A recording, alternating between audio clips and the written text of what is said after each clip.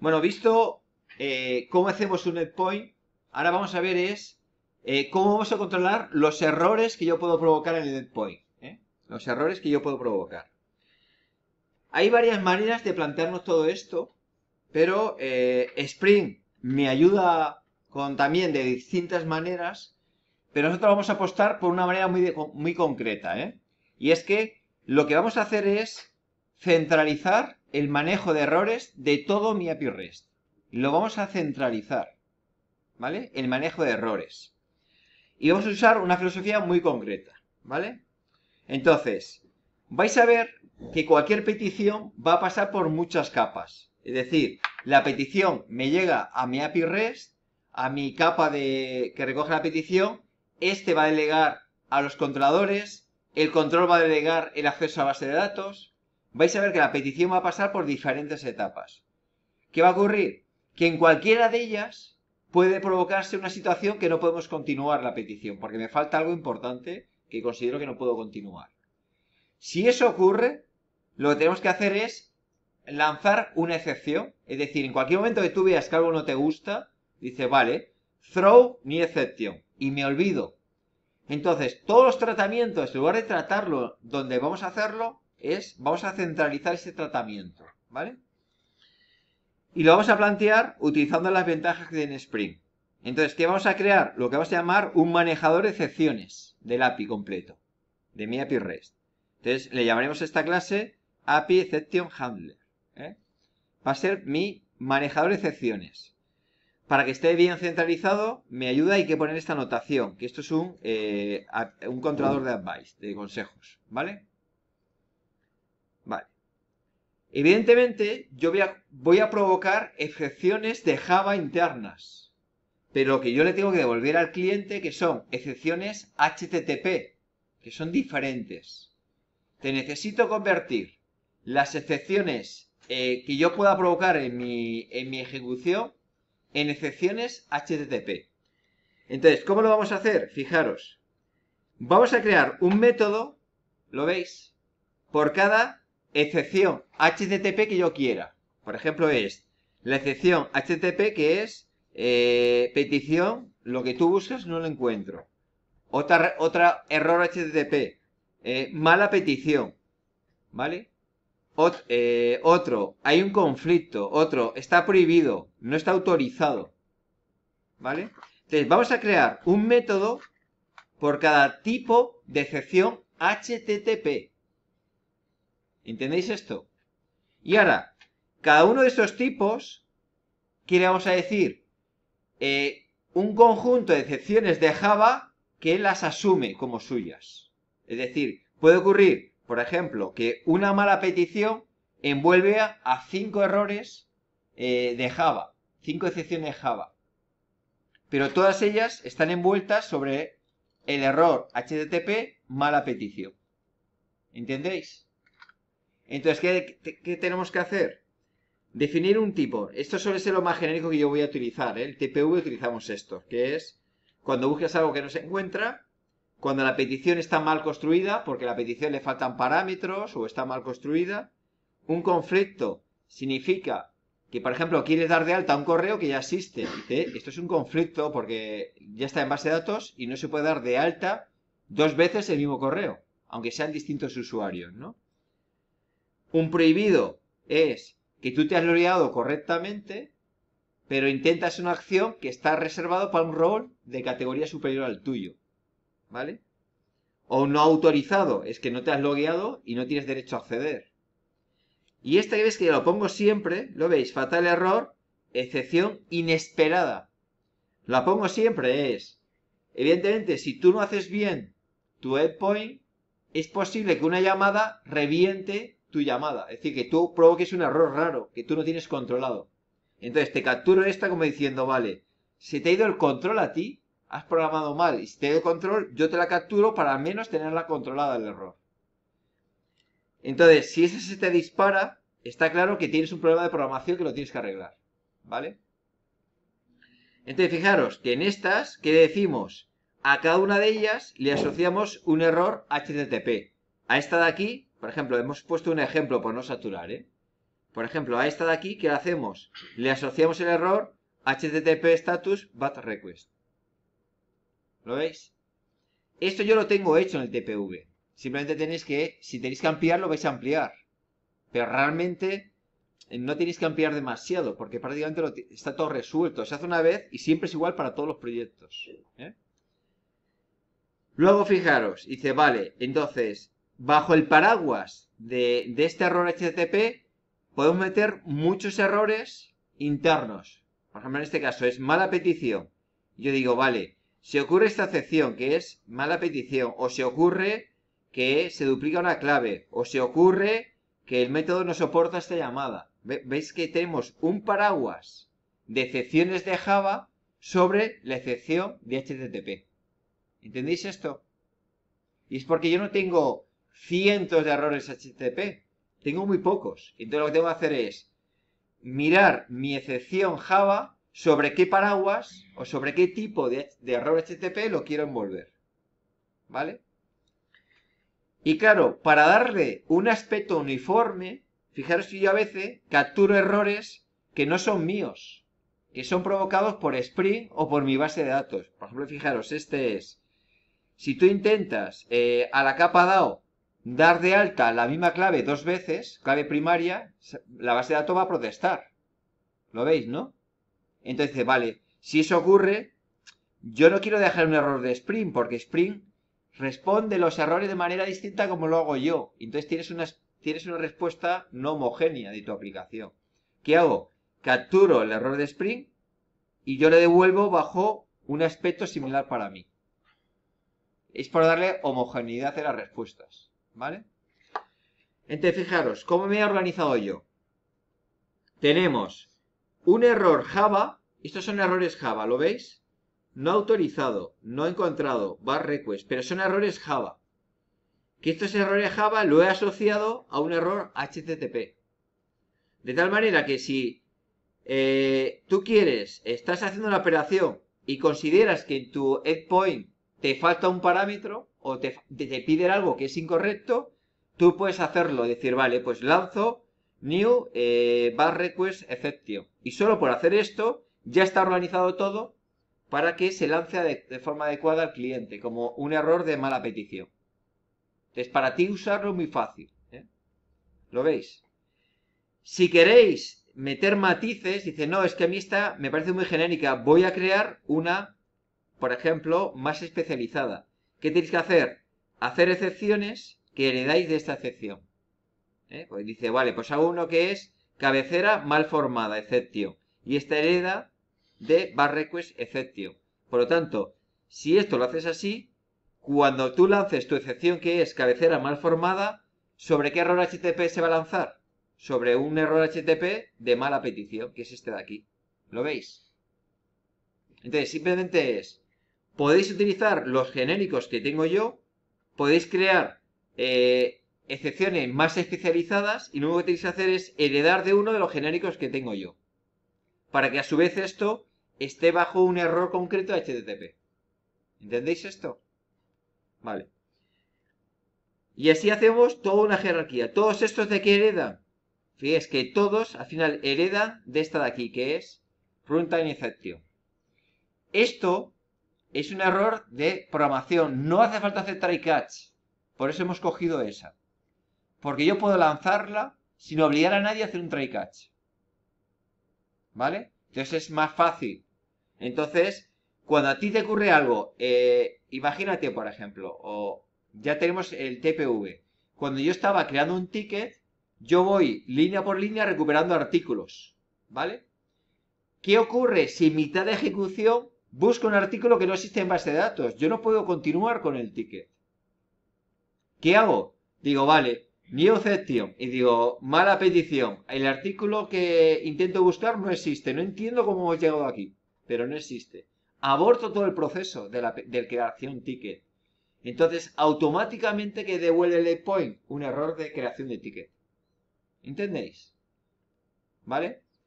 Entonces, es muy cómodo porque cada vez que tú veas un problema en cualquier punto de la aplicación, tú lo que haces es simplemente lanzar una excepción. En cualquier punto. Y te olvidas, ¿eh? Porque no tienes tratamiento. Se trata centralizado. Eso sí que te obliga. Cuando tú lanzas una excepción, te obliga a que le des unos detalles de forma obligatoria. Dice, oye, dime algo más de lo que acaba de ocurrir para que, por ejemplo, si estáis programando en Angular, veis el error y podéis deducir lo que estaba pasando. Siempre que eres una excepción, intentar dar información de contexto para que se entienda qué está pasando. ¿Vale? Dos. Además de dar una excepción, claro, que a ti te llegue, tú imagínate que en Angular intentas algo y te dice eh, error HTTP de bar request. dice, oye, dime algo más. Entonces, de forma automática creamos una clase que es un mensaje de error que lo vamos a retornar cuando las cosas van mal. Esto es abierto. Yo he creado uno, fijaros, que tiene eh, eh, tipo de excepción, el mensaje y el, el recurso del path que tú estabas atacando, ¿no? Cuando se produjo el error. ¿Lo veis? Esto es abierto, es decir, tú puedes poner aquí lo que tú quieras. A veces, si tu API REST es público, normalmente lo que se suele hacer es poner una página web con la descripción de los errores. Tú puedes poner aquí también la URL de tu página web que aclara el error que acabas de cometer. ¿Veis que esto es abierto? Nosotros hemos, hemos apostado por este tipo de mensaje. ¿Qué va a hacer de forma automática? Cada vez que se produce un error, va a rellenar adecuadamente este mensaje y lo va a retornar. ¿Vale? Y lo va a retornar. Y repito, tenéis que entenderlo y saberlo cómo utilizar, porque esto se hace una vez en cada proyecto y reciclamos todo esto. El TPV es igual que el que yo utilizo en Sprint ahora. Y el TPV maneja esta filosofía. ¿eh? Y vale, y entonces eh, recordar los tipos que solemos tener en HTTP. Por ejemplo, eh, cuando todo va bien, OK 200, Spring lo devuelve de forma automática. Es decir, esto es OK, lo veis, que son el OK 200, el creado, eh, tal. Todo esto lo devuelve Spring de forma automática, ¿vale? Los 300 eran cuando redireccionamos. Los 400 son los error, ¿vale? Y aquí está el numerito para que recordemos. Que son los más típicos, ¿no? Pues bar request, no autorizado, prohibido, no encontrado, método no permitido, conflicto, ¿vale? Y error interno es un 500. O 501 no implementado. ¿Vale? Venga, vamos a ver primero mi ejemplo como por código, porque no es trivial. Claro, yo os he dicho, vale, tengáis visión global, pero tenemos que ver el código para entender esto. Y este ejemplo es el mío. Y ahora vosotros vais a añadir nuevos recursos que provocan errores. ¿Vale? Entonces, mi código.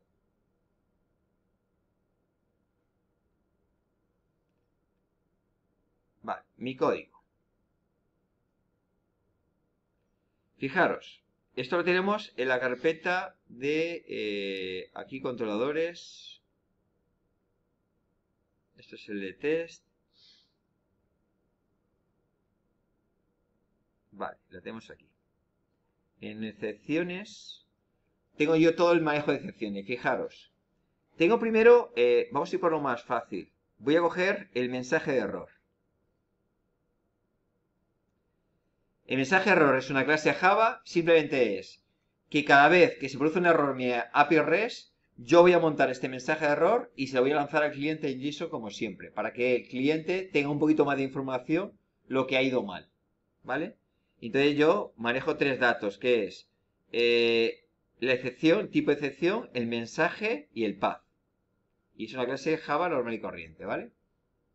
¿Lo veis? Vale.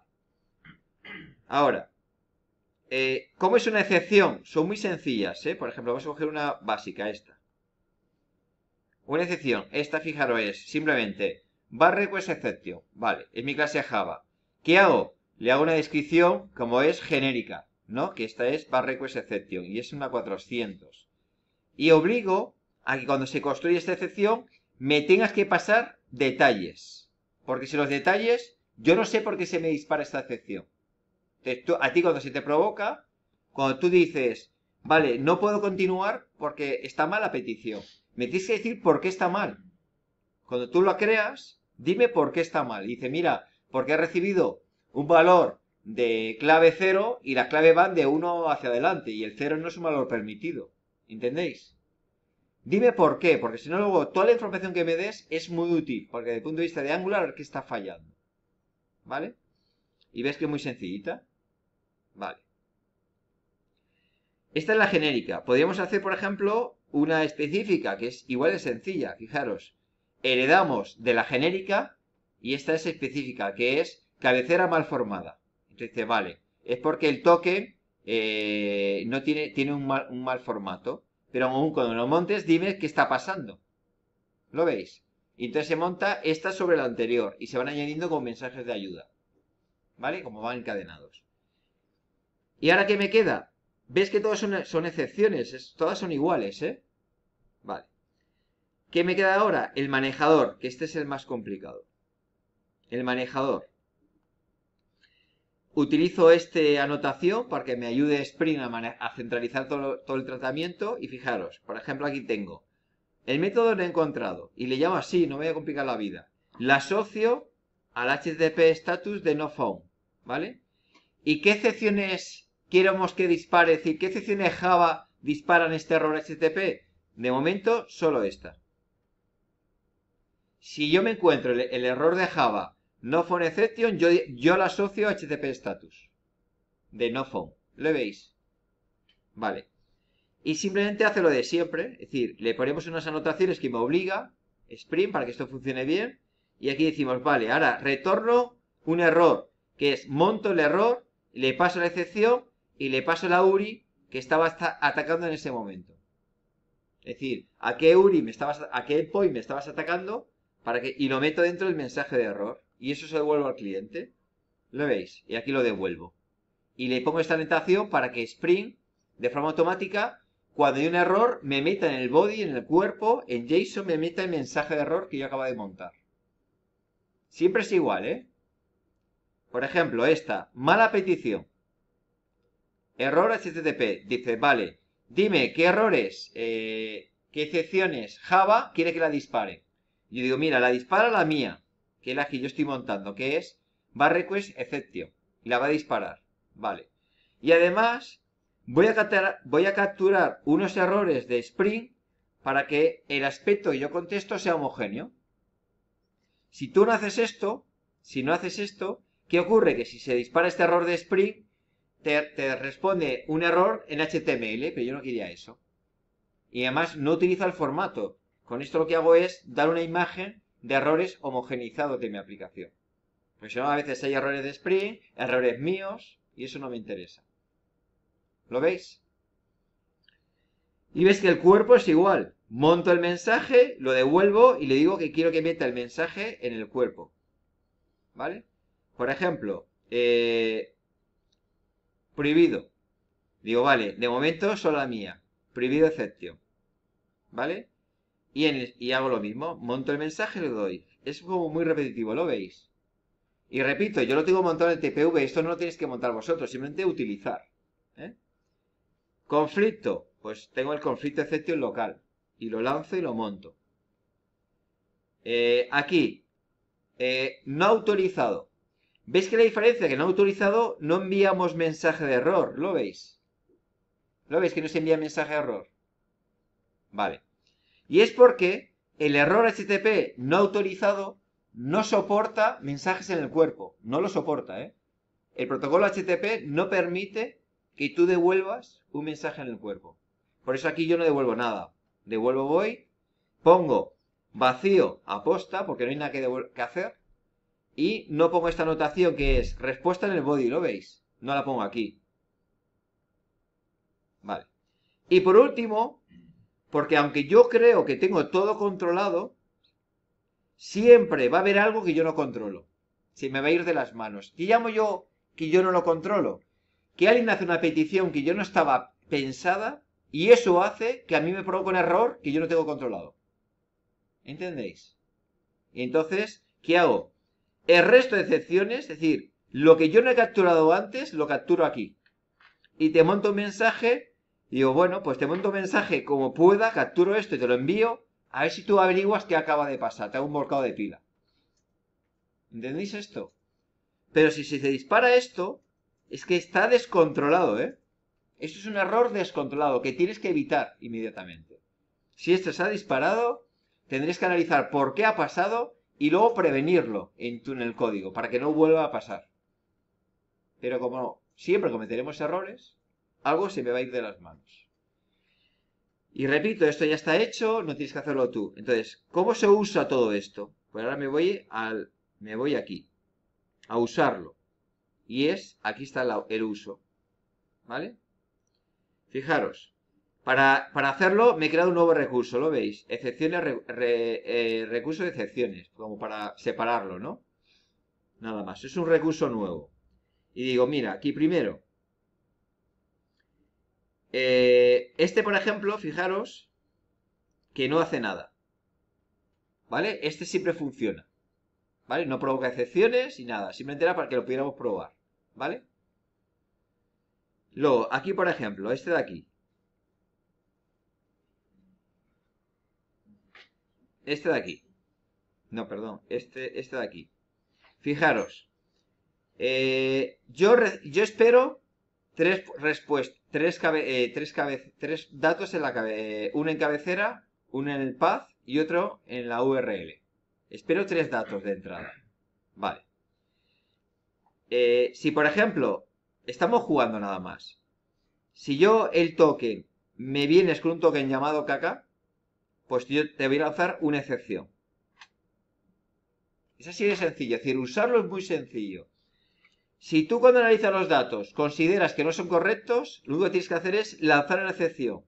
Y ya, como está centralizado el manejador de errores, este se captura, se convierte en un error HTTP y devuelve correctamente. ¿Lo veis? Entonces, cuando algo no te gusta, tú lanzas la excepción. Por ejemplo, aquí, estos son ejemplos tontos, es decir, no hay ninguna razón de todo esto. Simplemente es que para jugar con la gramática. O por ejemplo, si me mandas un ID 0, ¿le veis? Yo te lanzo una excepción, pero porque sí. ¿Entendéis? Ventaja. No, ¿Veis que yo no hago tratamiento de errores? Entonces, me quita mucho ruido a mi aplicación porque yo no hago tratamiento de errores. Lo tengo centralizado y es un tratamiento centralizado para todo lo que pueda ocurrir. Eso sí, cuando tú provoques un error, dime qué está pasando. ¿Vale? Entonces aquí pondríamos, vale, has formado mal. Y le digo, mira, es que estás intentando montar un toque con este valor, con KK, y es que no está permitido. ¿Entendéis? Este mensaje es fundamental, ¿eh? Para luego procesar qué estaba ocurriendo. Es como una traza. Cuanto más información pongáis, luego más rápido solucionaréis un problema. ¿Vale? Es decir, que poner información útil aquí, ¿eh? ¿Vale? O por ejemplo aquí dices, no phone, dice, mira, estás buscando la ID 0 y no la he encontrado. Y dices lo que estoy buscando, que es la 0. ¿Entendéis? Pues dices, artículo no he encontrado. Dice, ya, pero ¿qué estabas buscando? Entonces dices, oye, ¿por qué no existe este artículo? Debería existir. ¿Vale? O por ejemplo aquí, el parámetro que si el parámetro eh, viene vacío, es decir, viene vacío en string, viene un parámetro pero viene con un cuerpo vacío, le digo, eh, error, el parámetro no puede estar vacío, lo que tú quieras. Y te pongo lo que a mí me llega. Es muy útil poner lo que tú estabas procesando. Que mira, yo estaba procesando esto y me he encontrado que está vacío y no puede ser. Y, y el otro a lo mejor piensa, tú ves el error y piensas, ¿Cómo es que le ha llegado un parámetro vacío? Si tiene que haber llegado mi nombre y no le ha llegado, ¿por qué? Y ya sabéis muy bien dónde buscar el error. ¿Lo veis? ¿Vale?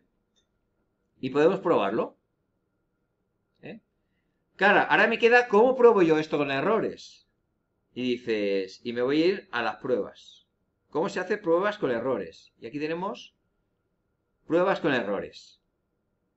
Fijaros, yo ahora voy a hacer prueba y decir, mira, voy a hacer lo siguiente. Voy a coger, eh, mira, para que no nos despistemos. ¿Yo cuántos parámetros espero? Tres. En cabecera, en el path y, y en la URL, ¿verdad? Dice, vale, pues voy a hacer ahora, voy a montar una petición mal hecha. Donde pongo parámetros en la URL. ¿He puesto parámetros en cabecera? Mirarlo en la llamada. ¿Tiene parámetros en cabecera? ¿Los tiene o no? No.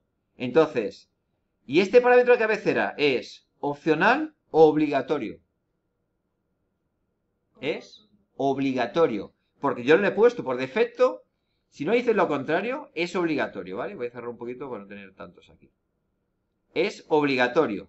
Por lo tanto, si yo no lo meto, eh, la llamada está mal hecha. Entonces, fijaros el test. Es, no voy a meter parámetros en cabecera posta, voy a intentar llamar, ¿y qué me tiene que decir? Si todo va bien, ¿qué me tiene que devolver? Mala petición. Entonces, voy a comprobar que la respuesta es bar request. ¿Entendéis esto? ¿Vale? Que la respuesta es bar request. ¿Vale? Por ejemplo, voy a intentar una cosa. Eh, punto. Bueno, luego lo hago mejor porque si no va lento. Y los, efectos menos... Eh, el efecto demo en directo me da mucho miedo. ¿Vale? ¿Lo veis? Cómo se hace un test comprobando que esto va, que haces una mala llamada posta y ves cómo reacciona tu sistema. Si yo hago esto y, me, y yo tumbo el endpoint, lo tumbo significa que hay un error descontrolado, es que no está protegido. Porque te tienes que proteger siempre contra llamadas mal construidas. ¿Veis lo importante que es esto? Lo que no puede ser que yo te haga una llamada y, tu endpoint eh, hay un error descontrolado. Tiene que preverlo todo, el endpoint. Todo. ¿Vale? Por ejemplo, aquí. Otro, otro error aquí. Este es, eh, veis, meto en cabecera eh, aquí también es, meto el token en cabecera, ¿lo veis? Aquí ya lo meto, ¿no? Por lo tanto, va a llegar bien el, token, pero ¿qué va a llegar? Un token con valor KK. ¿Y qué va a hacer tu sistema? Si es KK, que lanzas una excepción, que es cabecera mal formada. Esta excepción, ¿de quién hereda? Fijaros, en mi sistema yo he hecho que esa excepción hereda de quién? Cabecera mal formada. ¿De quién hereda? Hereda de mala petición. Y por lo tanto, esta mala petición aquí está asociado a un bar request. ¿Lo veis? Por lo tanto, me vuelvo mi código.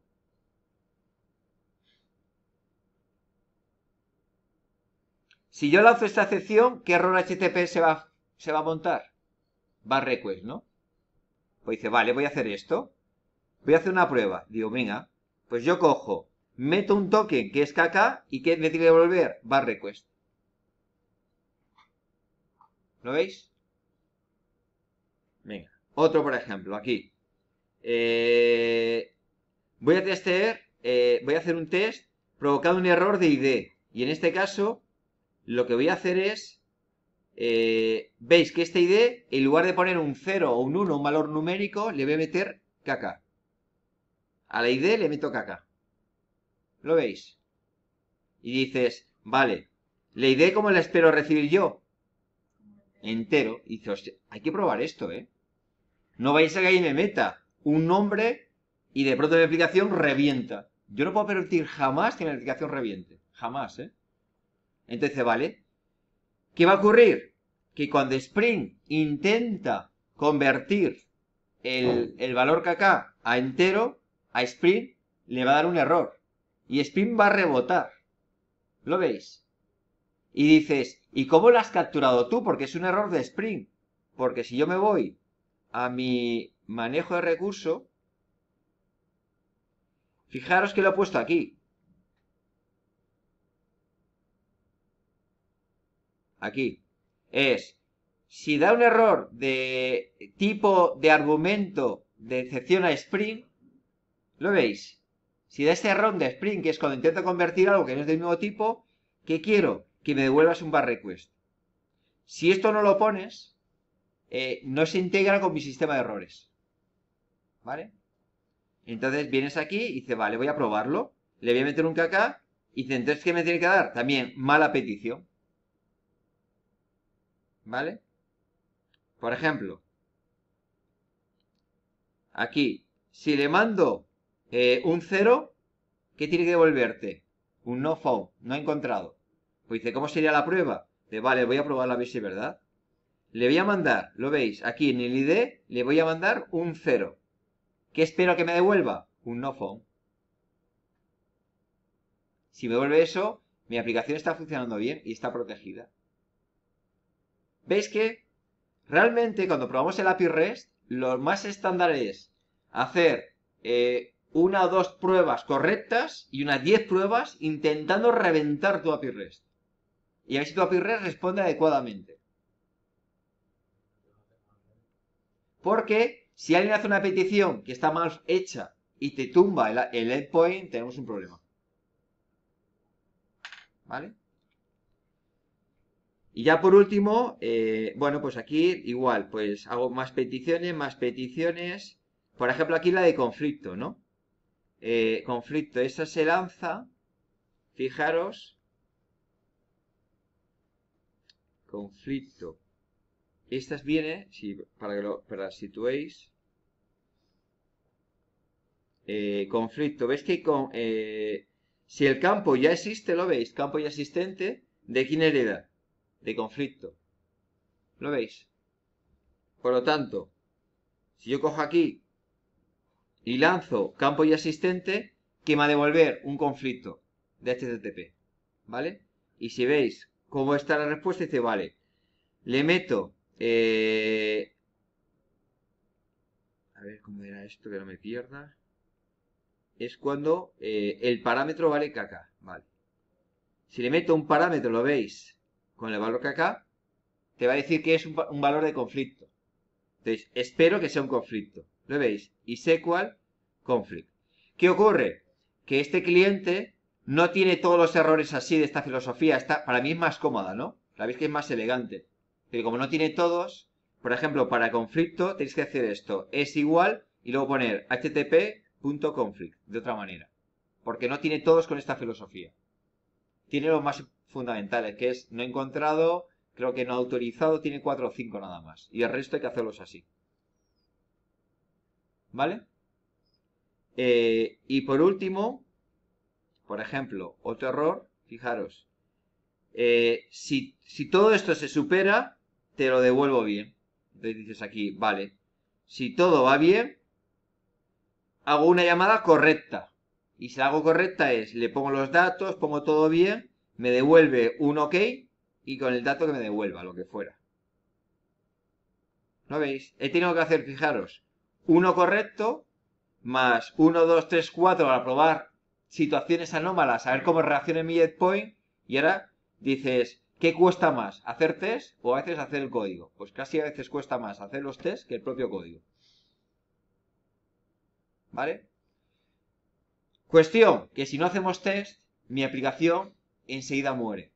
Es decir, cuando empieza a crecer, si nadie hiciéramos test, dentro de a lo mejor de dos semanas, cuando la aplicación TPV hubiera crecido un poco más, empiezan a dar errores que nadie encontramos. Entonces dice, mira, es que no podemos continuar. Porque hay un error y nos bloquea la aplicación, no sabemos encontrarlo. Por eso hay que hacer test. Para poder crecer más. Para una aplicación pequeña que yo hago una semana, dice, bueno, me puedo permitir lujo de no hacer test. Ya. Pero para el TPV, y tal como somos, si no hiciéramos test, repito, a la semana hay que jubilar la aplicación porque ya es incontrolable, inmanejable. Pero gracias a los test podemos crecer más. ¿Entendéis? Importante. ¿Vale? Venga, pues ¿qué vais a hacer ahora? Pues como antes, esto es hasta que no se prueba, no lo sabéis. Entonces, Ejercicio, vais a hacer dos. Es añadir un recurso eh, en el de esto de, de, errores. Es si la ID vale 999, provoquéis la, la excepción de prohibido mediante este. ¿Vale? Más test. Si tenéis que hacer este recurso que provocas este error y un test que lo probáis. ¿Vale? Y luego tenéis que hacer un segundo recurso, es eh, o añadir el código es, si la idea es 900, provoquéis una excepción propia. Es decir, tienes que hacer tu una excepción propia que heredas de prohibido y lanzas tu excepción propia, a ver cómo funciona. ¿Entendéis?